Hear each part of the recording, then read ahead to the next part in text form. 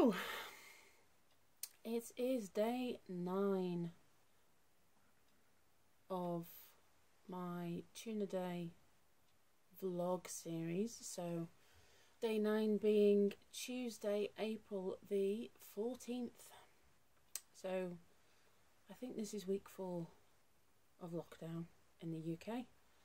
Um, it's all kind of a bit I, I saw somebody put one of those um, posts up. Lots of posts about lockdown and quarantine and things, isn't there? And somebody put one up. Um, it's it's a bit like Blur's Day, and that's kind of what it is, really, isn't it? It's it's kind of like Groundhog Day, just over and over again. Um, I don't know about anyone else, but um, I can't think too far ahead because thinking too far ahead is uh, is too much. So I'm I'm kind of trying to take take it day by day and, and deal with things, you know, a day or two in advance at, at, at the most. Because I think you can you can lose yourself. Today's been one of those days where do you ever do you ever get do you ever feel really small? Do you ever get a day when you just feel just done in by everything.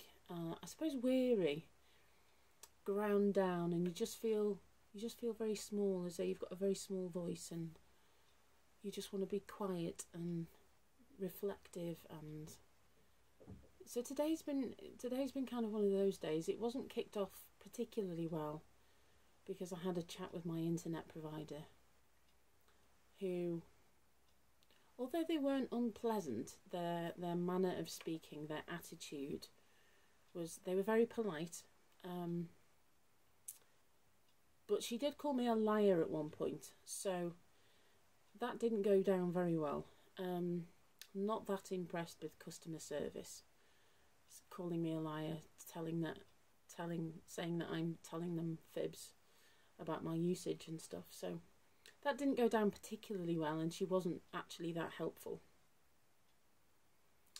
However, the and and that being said, she also said that there was nothing that they could do, and they wouldn't send out an engineer.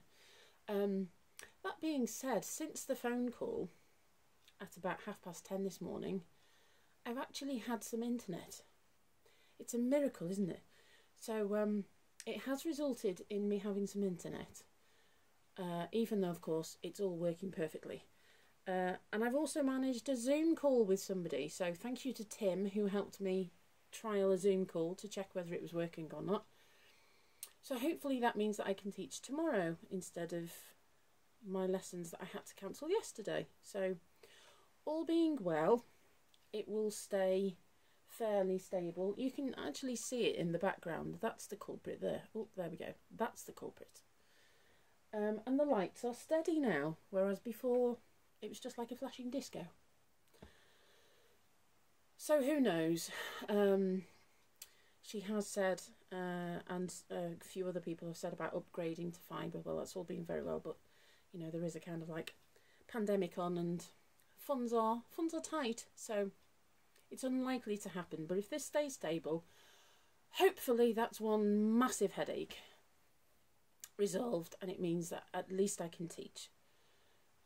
So that was today. Um, but then a, a friend, um, an IT um, engineer, spoke to me and managed to get me to do some things and, and found out um, a bit more about the situation. So he's he's keeping his.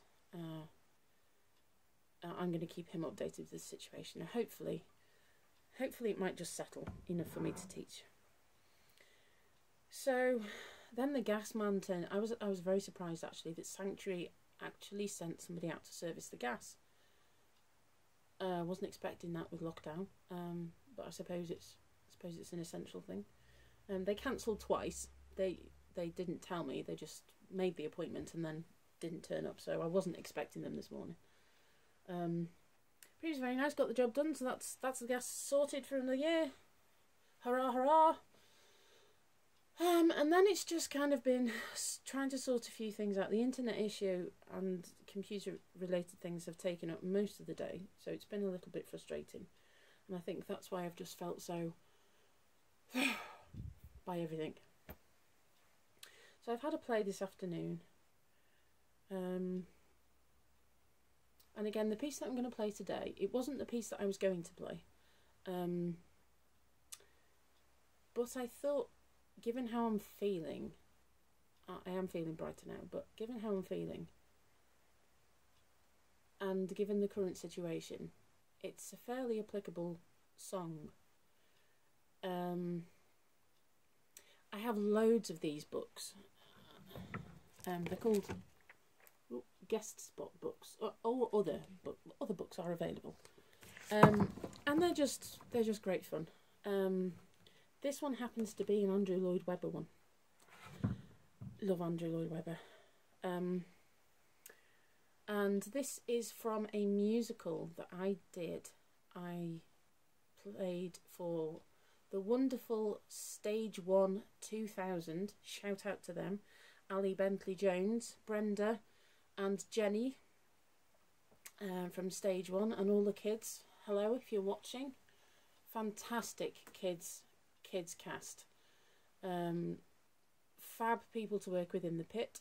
Trish Gaskell, Stu Gaskell, Sean Phillips, and Andrew Hutchinson, who I know will see this. So, hi, hi Andrew. Hello from Oscar as well. Um, and we did this um, last year, and it's Joseph, and it's one of my absolute favourite musicals. It's just brilliant.